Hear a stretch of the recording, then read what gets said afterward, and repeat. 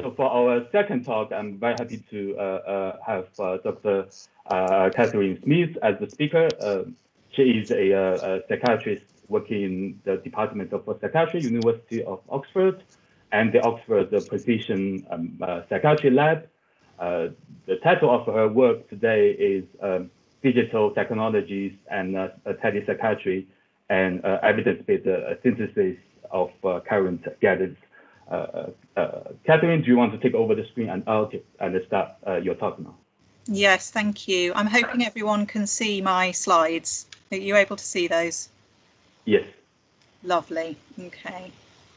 I'll just put those on full screen mode. So just let me know if anything goes wrong with the technology. So my name's Dr. Catherine Smith. I'm um, an honorary consultant psychiatrist. I work in Oxford at the University Department of Psychiatry. Uh, I have a background in clinical research and implementing high intensity clinical research studies. Uh, and I work some of the time at the NIHR Cognitive Health Clinical Research Facility. Um, but I, am going to talk today about some work that we've been doing out of the Oxford Precision Psychiatry Lab. And it's very much motivated by the situation that we find ourselves in with COVID 19 so uh, we started at the beginning of lockdown to quite rapidly produce um, guidance, uh, a synthesis of guidance to answer urgent clinical questions that senior clinicians were asking us to source evidence for. And I'm working as part of a group, and you can see there listed the other members of the group. And we also have a wider set of collaborators, both nationally and internationally, who've been helping us in disseminating the guidance and in some cases in translating it. So the background to COVID-19, I'm sure you're all very, very familiar with, um, but this is the background for which we developed this um, synthesis of evidence-based guidance. Um, so, uh, as you're very well aware, it's extraordinary to think now that COVID 19 was only first described in December of last year and it's progressed incredibly rapidly. And because of that rapid progression and the global pandemic, we've had critical challenges in all areas of our lives, but particularly in the area of public health, in the area of clinical research, and also, um, most importantly, really, provision of healthcare. And um, because the pandemic has rapidly evolved, there have been, certainly for clinicians, updates being produced on an incredibly rapid basis. So at the beginning of the pandemic, we were getting daily updates, sometimes more than daily updates. And so for clinicians, this presented a real problem, which some of you will, I'm sure, be aware of. And that was a problem really of information overload. So trying to find really easily accessible, reliable, up-to-date answers to immediate clinical questions was really difficult and time consuming. And we had an extra difficulty in mental health. In the in the initial phases of COVID, certainly it's primarily a physical disease, as you know, and so most of the guidance that was coming out was focused on on physical symptoms and management of physical symptoms uh, less on mental health, and what there was on mental health was often hidden within bigger documents or in different specialties, such as palliative care, for example, or respiratory medicine. And the other difficulty that we had with the different sources of information was that they were coming from from lots of different sources. So we had information from our specialty organisations in mental health. We had countrywide guidance and also worldwide guidance, for example, from the WHO. And then we had a mixture of the sorts of information that was coming to us. So, a lot in the beginning, a lot of personal experiences and commentaries on situations, particularly in countries that were ahead of us. Uh, more recently, some original research, and then more formal guidance. So, in response to that, we were contacted by senior clinicians in our trust, and it was a combination of disciplines really, not just doctors, but also nurses, um, pharmacists, and uh, managers who all wondered if we could help in um, providing answers to specific clinical questions that they had.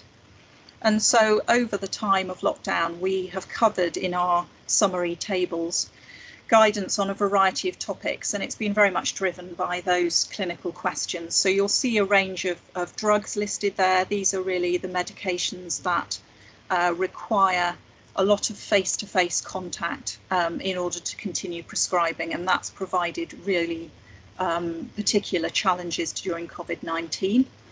But we also cover um, more general clinical areas such as the management of patients on inpatient wards, um, particularly trying to reduce the risk of cross-infection whilst carrying on with uh, ward activities and some of the special physical complications that we may need to consider in the context of COVID, such as the question of vitamin D supplementation and uh, prophylaxis for um, venous thromboembolism. But today I'm going to focus specifically on digital technologies and telepsychiatry. I think that will be most of interest to you. But if you want to look at the uh, our web page, we do have tables on other areas. So first of all, I was just going to um, cover a little bit about why we need guidance in telepsychiatry, um, which may not be apparent to all of you. Um, so clearly with um, the need for um, social distancing, face-to-face consultation during the current crisis is, is more problematic. And so we um, have been forced in a really rapid timescale to, as clinicians, to where we can to convert to more remote methods of consultation. And the NHS in the UK has been forced to implement that change in an incredibly rapid timescale and to make sure that there are at least adequate IT systems to support this. Um, and that sort of timescale, I think, would have seemed unimaginable a few months ago, but but it's it's certainly happened quickly. We also need know that in mental health, support is quite likely that the need for support is quite likely to increase over the coming months. And that's for a couple of possible reasons. Um, first of all, as we know, the impact of social isolation and quarantine. Um, has a greater impact on those who are more vulnerable, and that would include those with pre existing mental health conditions. But there's also more recently some evidence to show that although COVID 19 is primarily a physical disorder, particularly those who have more severe infections and complications and perhaps end up on ICU, there is some evidence that, like other coronaviruses, there are specific neuropsychiatric consequences in the long term of that severe illness. So, for those two reasons, uh, there's a likelihood that we will need to increase our degree of support as we go forward.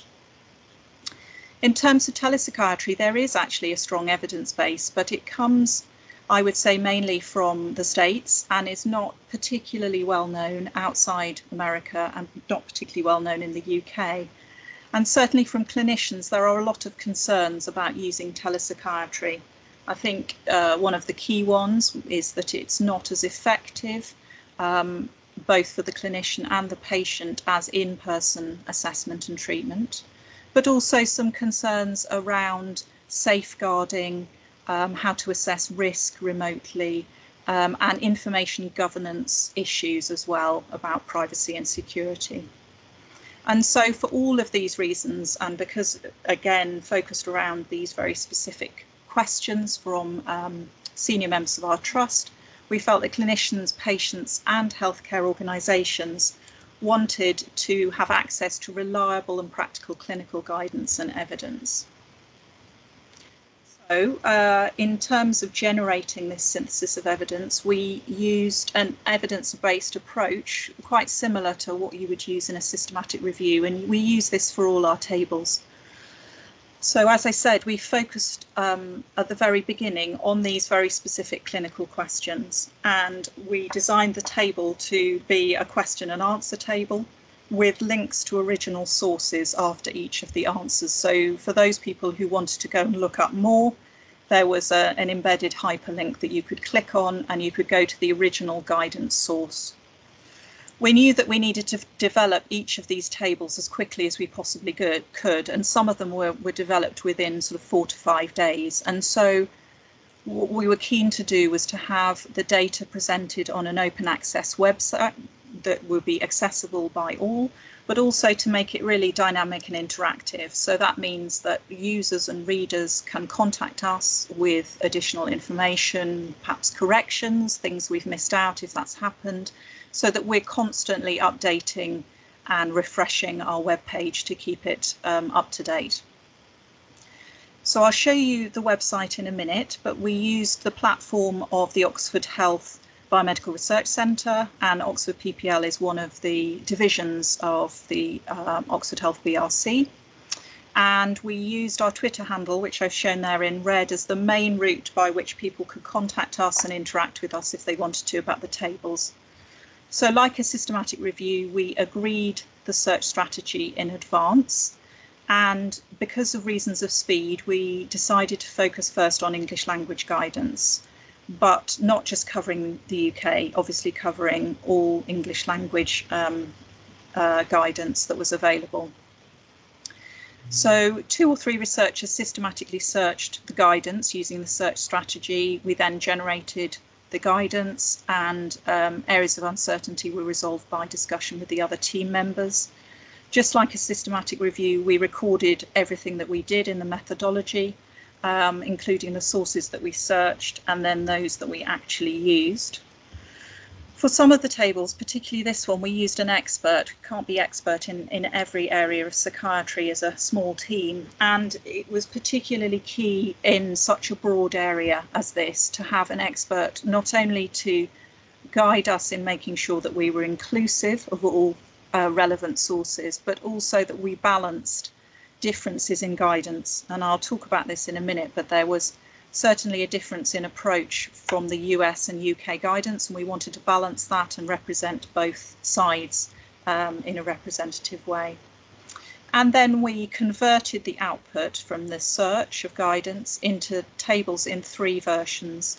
So we have the interactive web page, which I'll show you in a moment with the embedded hyperlinks. So you can look at that online, search for your question, look at the answers.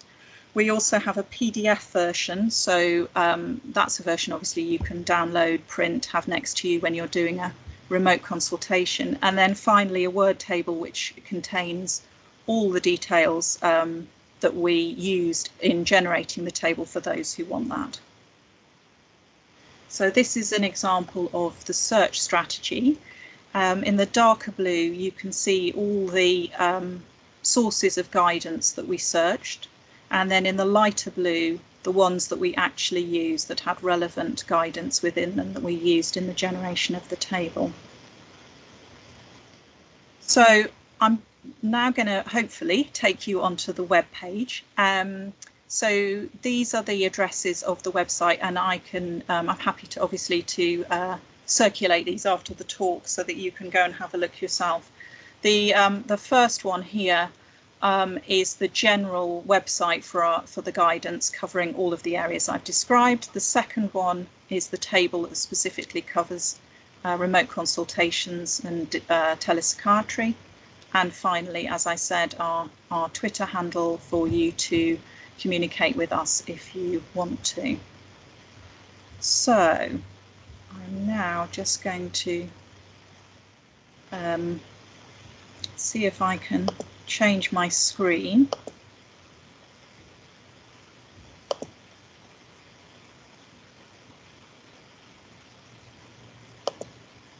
Hmm.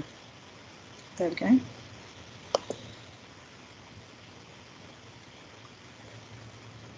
So I'm hoping that you can see the web page now. Um, is everyone able to see that? Yes. I'll, yeah, I'll assume you are. So um, this is the, the front face of the web page that I was talking about. Um, as I said, it's hosted on the Oxford Health BRC web page. Um, and within that, if you go into our work, you'll see the Oxford Precision Psychiatry Lab. And then on the side in the bar here are um, COVID-19 guidance. So this is the front page of the whole guidance, and obviously you can have a more detailed look if you wish afterwards. So we have a bit of a description of the, the techniques that we use that I've gone through with you, a little video here that uh, just tells you a little bit about the guidance and some of the things I've been talking about. Um, as I said, we had huge interest really right from the beginning from um, international collaborators, and we now have translations of some, not all of the guidance, into different non-English languages. And they've also adapted their guidance for use in their particular country, particular country as well. So just a link there to those. And then at the right at the bottom of the guidance, we have all the particular tables. So I'm going to take you just onto the Digital Technologies and Telepsychiatry page. They're all set up very similarly, so this is a good example. Um, so uh, first of all, I mentioned we used an expert um, for this table just to guide us and make sure that we were inclusive and balanced. For this table, it was uh, John Torous, who's based at Harvard, um, and he has a special interest, as some of you I'm sure will know, in technology and mental health. And he's been involved with the APA's working group on the evaluation of smartphone apps. He's also involved in, in some of their training programs to do with telepsychiatry. So he was very helpful indeed in thinking about how to present the guidance in a, um, a useful way for clinicians. And one of his first suggestions was because we have a lot of guidance, was to um, make sure that we had the first table as a very short and um, brief guide for clinicians in doing telepsychiatry consultations. So that's table A.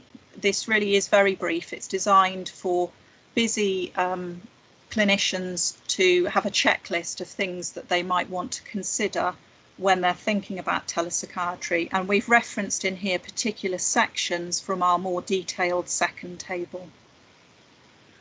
And at the end of this um, brief table is a checklist of questions that clinicians might think of asking at the beginning of a consultation. And this comes from the APA toolkit on telepsychiatry.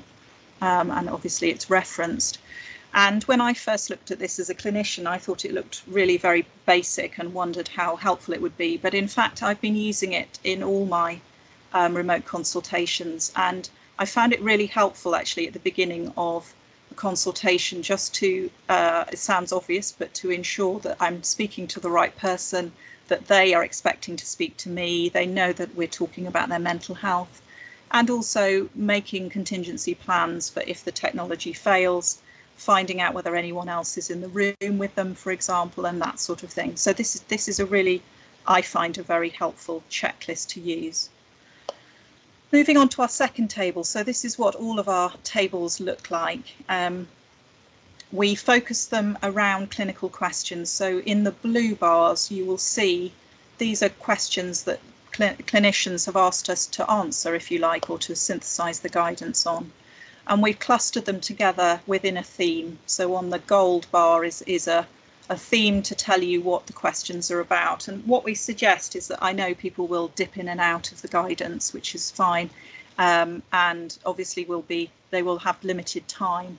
But we suggest that if clinicians are dipping into the guidance, if they read the answer to one question within a group, that they read the rest of the group because they tend to be interlinked. So, for example, one of the questions clinicians often have asked is what the evidence base is. And so if you click on the question, you then find um, the answer to that question from the existing guidance. And at the bottom, we've included these embedded hyperlinks so that you can click on the link if you want to find out more detail than we've given here. Um, another common question is whether there are any settings where telepsychiatry might actually be better than in-person care. And again, we've given some examples here from the guidance. And at the bottom, just as I said before, we have the, the links to the guidance that we've used so that you can go to the original sources. So just moving through, um, we cover existing guidelines. Um, interesting here that, as I said, the UK and US guidelines do differ quite significantly. Um, the UK guidelines are very much pre-COVID and are quite cautious, understandably, about being very careful about the limits of telepsychiatry, whereas the American guidelines tend to be a bit more expansive, um, perhaps a bit more creative in what they talk about, and they also cover wider issues like the combination with other digital technologies. So we wanted to make sure that we represented both sides of that in our guidelines. So if you look under the guidelines, we have the UK side, which comes from quite a few different sources, the Royal College of Psychiatrists and their special interest group, the GMC, etc. And then further down, we have the US guidance so that clinicians can look at both of those and compare them um, so that they're fully aware of what the guidance is. I mentioned in information governance issues as well, and those are covered there. And then we go through the consultation with guidance on what you might do before you start the consultation, what you might do during, and what you might do afterwards. And then some information on some subspecialties. There's a little information on children and adolescents and older adults, cultural issues, um, some guidance on multidisciplinary assessments as well. So that's our second table. And then right at the end, we have a third table which focuses specifically on child and adolescent psychiatry. Because as you're probably aware, we do a lot of family assessments and uh, there are some things to consider there in terms of how you arrange the room and how you arrange the consultation to involve everybody in that family assessment. So I'm very happy to answer questions about the guidance when we come back to it. Um, but what I'm going to do now is just go back to my slides, if I can.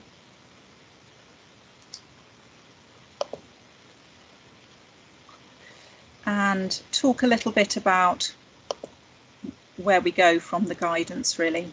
So um, what we aimed to do was really just to provide a synthesis of guidance um, in the field of telepsychiatry and the use of digital consultations in the context of COVID. Um, and I think one of the things that we as a group feel is that there's an opportunity here not just to see remote consultation as a, an acute solution to a, an acute situation, but also to think about implementing telepsychiatry as a longer term strategy. It's something that's been talked about uh, before COVID, at length, but has never really been implemented, certainly in the UK and certainly not on a large scale. But now that we've had to implement it, I think um, we've rapidly learnt a lot about it, and it's a chance to think about using it more long term and using the benefits that we know uh, it can offer in certain situations. So to do that, of course, clinicians need to feel confident and competent in using telepsychiatry. And the first step really to feeling confident about it is to have access to a reliable source of guidance. And hopefully our synthesis of guidance will be helpful in that. I think longer term, we'll need to think a little bit more about training. Um, and uh, that will be um, important in the longer term implementation. And there are examples of really effective training schemes, particularly in the US, for example, with residents in psychiatry. Um, and that training includes not only remote consultation, but also training residents in combining that with other digital technologies like using mobile apps, for example. And I'll talk about that in just a, a minute or two of course, you know, as clinicians, we need to remember it's not just about us, and uh, we also need to think about patients being able to access telepsychiatry as well. And there are quite a few reasons why patients won't be able, might not be able to do that. Um, there's obviously the issue of, of confidence and competence in using digital technologies, and that's not universal. And of course, there are certain um, uh, parts of society who are more likely to feel underconfident or to feel they lack competence in that area. So there may be cultural issues, there may be um, issues to do with older older adults, for example, that make that more difficult. There's also the practical issue that uh, many patients just don't have access to technology to do it. So if they don't have a smartphone, for example, or they don't have access to a mobile phone, then um, uh, remote um, telepsychiatry is going to be impossible for them. So I think more generally we need to think um, about access, equitable access for patients. And interestingly, in the American guidance, there is are some examples of uh, training for mental health um, clients, mental health patients, helping them to feel more confident and competent in, in accessing um, telepsychiatry. And the final element, of course, is that we need organisational change. We've already had this acute organisational change. It's been, been forced upon organisations. Um, and there have been examples, for example, in the States of, of organisational change to reduce um, barriers across states um, and federal barriers to allow telepsychiatry to be practiced more in a more widespread way. But for organisations, I think to implement longer term change, they are going to need research and evidence of cost effectiveness, of beneficial outcomes, and also um, evidence of the possibility of an enhanced level of care. So rather than looking at it just as a, a replacement for in person care, looking at the possibilities for actually enhancing care.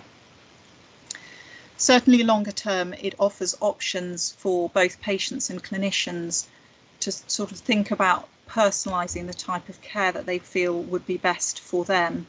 And it's likely, I think, that patients having experienced, at least some patients having experienced telepsychiatry or remote consultation, will opt for this in the longer term, even if it's not strictly necessary um, under the rules of, of um, isolation related to COVID. Um, and there are a lot of advantages for the patient. There's obviously reduction in stigma. It's much more private way of seeking help. You don't need to go to a mental health hospital or facility. And it's um, convenient and uses less time off work and those sorts of things, less travel for the patient.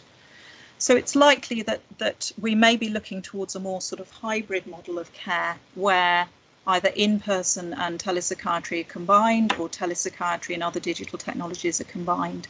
And so to do that as clinicians, we'll need to feel confident and competent in using each different set of media, but also in combining them as well. And that brings me on to thinking a little bit about telepsychiatry and the options for easily combining with other digital technologies. So um, you'll be very familiar with other technologies that are, are options here, but these could include platforms for monitoring symptoms. For example, in Oxford, we have the True Colours mood monitoring system, um, which some of you will be familiar with.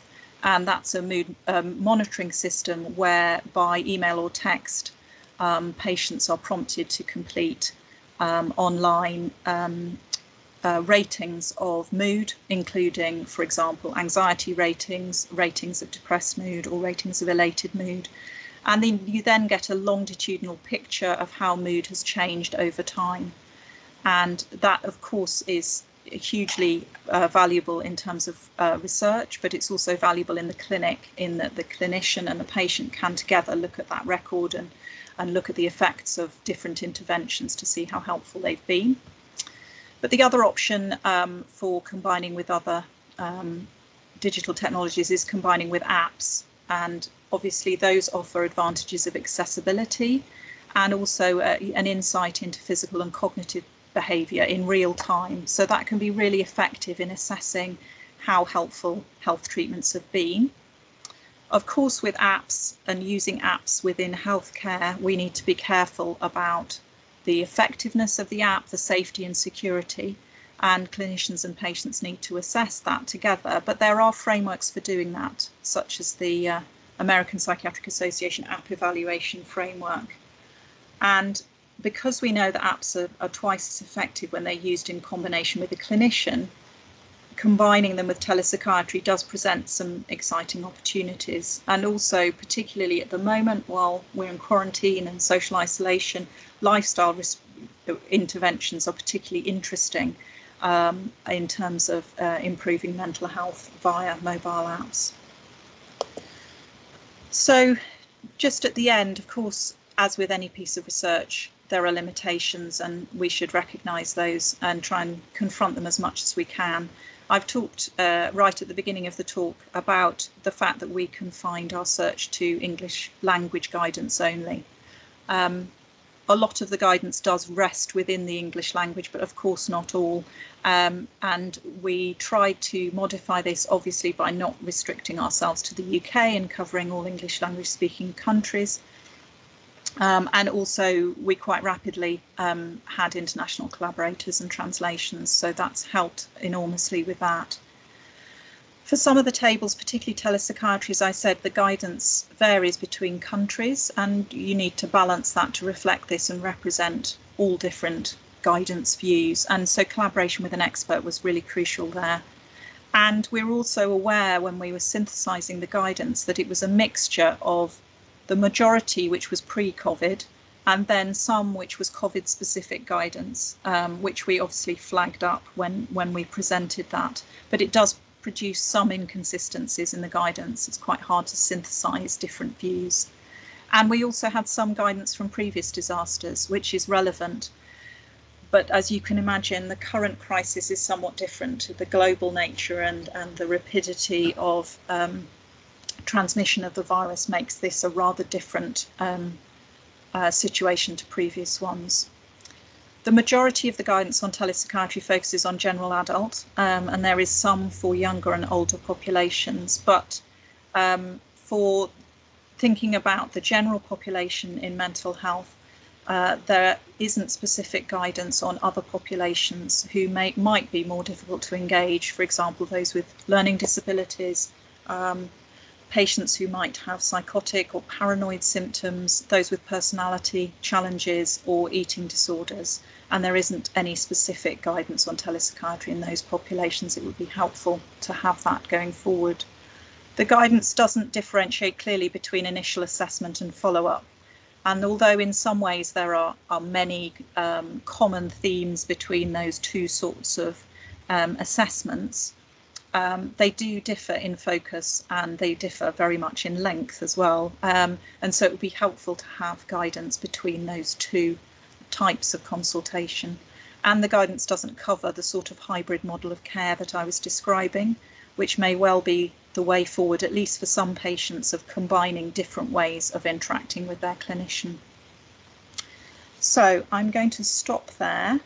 Um, if anybody wanted to have more information on our tables in general or the guidance that we've produced, then uh, we um, have published an editorial in evidence-based mental health. So I've popped that there, um, which just gives a lot of what I've talked about in the talk, but some of the background to the guidance we've produced and um, also the strategies behind and how we generated the synthesis. So I will stop there now for questions. Katharine, thank you very much. If anybody wants to ask can I suggest they raise their hand and that way we'll sort it out.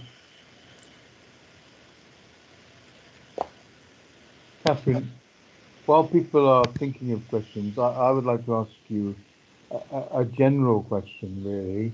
I mean, you've obviously got an enormous amount of experience of what works and what doesn't work now in this interactive new world we find ourselves one thing that occurs to me, and I'm sure it occurs to lots of people, is that all of a sudden in these online interactions there is a potential to collect a great deal of information about what goes on in an interaction between a patient and a and a clinician that could well turn out to be really a useful research resource, but also, if not used wisely and carefully, potentially a massive invasion of privacy, etc., etc. And I I just wonder whether you you reflected on what might be good practice and the right way to think about that sort of question. Gosh, that's a big question, isn't it? Um, you're right. It does offer um, it does offer the option for collecting data, um, but it is balancing privacy, and I think. Uh, I mean, I think at the moment remote consultations have been used very quickly and clinicians are just doing the very best that they can um, in in using a medium that they're not very familiar with in general. I mean, some clinicians have used this, but but generally most of us are used used to in-person consultations. Um, in terms of the the sort of data that you could record in a research setting, um, there are lots of options. There are options in terms of um, clinician data and, and what how clinicians are um, using remote consultation, and then there's patient data as well. But there, as you say, um, there are issues of privacy. I'm not sure whether I've answered your question or not. uh, I'm not sure either. Um, I was actually thinking about the actual interaction. Okay for example, I mean, as I, as you know, I'm interested in capturing and learning from how people emotions reflect their underlying condition. Um, here, in a sense, is a is a wonderful resource for how, for example, the clinician is responding to the emotions of the individual, or there's a fair amount of stuff that could become abstracted and de-identified and well separated from individuals, um, which could be very, very informative as to how people structure their interactions and whether they are making things better and so on over time, I imagine. But it also goes deep into into the actual interaction. Yeah, until yeah. now, it's a big deal. Up until now, it's quite complicated, right? You don't have video cameras and, and things in um, a normal interaction. But here, actually, at the beginning, all that data is there, and we're going to throw it away, which is not wrong, mm. not at all. But maybe some residual data, which was de-identified and things, might be quite meaningfully collected in much the same way that CRIS is a valuable resource. Yes, no, that's a really interesting idea. That would presumably require the consultation to be video rather than telephone. Uh, and why? That, why? Why? Why? Oh, well, you could do it over telephone if you did voice. Surely, by definition, the tele interaction, or is it just audio? So, um, what I was going to say is that um, it varies from service to service how um, individual services have implemented telepsychiatry. So, some have focused almost entirely on telephone interaction, and others have embraced video conferencing. Um, and obviously, the data that you would get would vary. And with telephone, you would only be able to do presumably voice analysis. Um, but you're right. I mean, if you, if as long as obviously there was agreement about recording and anonymizing of a video interaction, you're absolutely right that that is a source of data for looking at it. And you could also combine that with your other measures such as monitoring mood or you know other measures that you could combine with it in a creative way.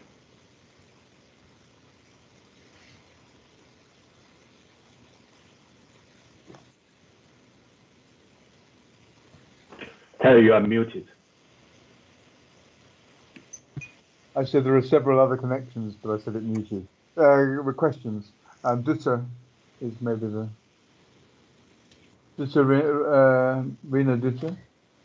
Hello. Yes, actually, um, the answer to your question probably covers what I I was essentially I'm a practicing clinician as well, and I was going to ask that question about um, whether much information is lost by um, sort of using an just tele mm. telephonic um, review. Yeah. I personally found that telephonic review of patients that I know really well is can be actually um, less distracting not to have uh, a sort of face to face actually, but just actually focusing on the voice can be really helpful. However, when I'm doing a first assessment, I think the video consultation mm-hmm. is key. But I have found quite a lot of it's very, very different from an in person interaction, particularly when there's um, a collaborator history to be taken or you know, a partner wants to attend as well, which I've had because I see national patients. And it's really very, very difficult to. Um, you know, to, to do that, I think, well on. So I've got a lot to learn. So thank you so much for pulling this evidence together, Katharine. It was an excellent talk. Really good. Yes, I think um, I, I, think that's a common theme from clinicians I've talked to is that following up patients who you feel you know well is um, is easier by telephone. But as you say, the initial consultation, and it's one of the I suppose, you know, in an ideal world, it would be nice to have guidance about the initial consultation and the follow up because they are rather different. Yeah, they are um, separate, aren't they? Yeah. They are and I think we're all learning, and it's in a way it's good. I think it is uh, it is a moment where we've been forced into a situation we wouldn't have chosen, but we can take positive things from it, and you know we will gain in our experience of using telephone and video consultation. And as we go forward, I think some patients will want to continue with that or combine it. Um, yeah. And I think it can be extremely valuable, like you say, especially if we're adopting more um, online uh, questionnaires or apps or mm. um, other forms of sort of being able to show the patient quantitatively how things are varying over time. I think it could really help with the therapeutic process. So it's quite it's quite helpful that it's been really been uh, sort of put into practice quite quickly. We're able to see the benefits yes. having to question it. yes, and there is um, some guidance which we've included on for example, um, multidisciplinary reviews. Okay. and how how to manage having several members of the team at one end and perhaps a patient and a carer and a support worker sitting at the other end and how Oh, to right. manage that group interaction because it's not entirely obvious No, it's it's no. easy we're all familiar with doing it in person Mm, but on on uh, a video call or a telephone call making sure obviously that everyone knows who's in the room but also making sure that everyone's included and has an equal voice it, it's quite a it's it is a, certainly a learning process so there is some guidance on that and the child psychiatry guidance is also helpful slightly different but again that covers family assessments um, and also issues about assessing risk remotely which which is you know more challenging thank you. That's really helpful. Bo? Bo, your hand is up.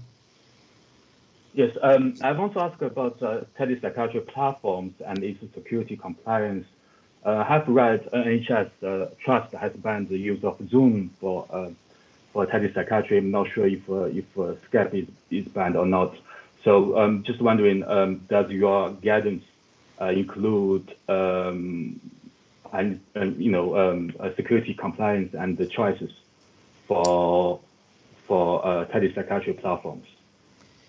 So that's a difficult question to answer succinctly, but I'll, I'll give it a go. So there's national guidance, but um, as clinicians, we all have to work within our local trusts, and each of our trusts are, also have platforms that they will um, are recommending that we use. So in Oxford Health, um, I've been doing mainly telephone consultations, but the video platform I think is Teams for Oxford Health, but it varies in different uh, trusts. So I know that there are other trusts using different platforms. Um, but in terms of the guidance, there's national UK guidance, and then we have to go within our local um, information governance rules. Okay, and, and the national one, the national UK uh, guidance, is it um, is it updated? Is it old or is it updated? So there was guidance towards the beginning of the um, pandemic. I'm not sure that that's from Okay. NHSX. I'm not sure that that's been updated. Um, Okay, okay, it's, it's quite recent. Thank you.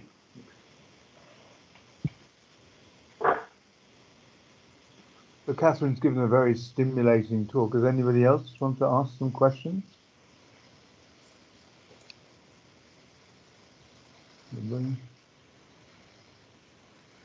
Seems not. Um, thank you really very, very much, both of you, for two amazingly interesting and very different uh, presentations, uh, both of which are very much at the heart of the sort of things we're interested in in this uh, small seminar. Uh, we're very, very grateful to you both for coming and giving your presentations, and thank you very much on behalf of the whole audience.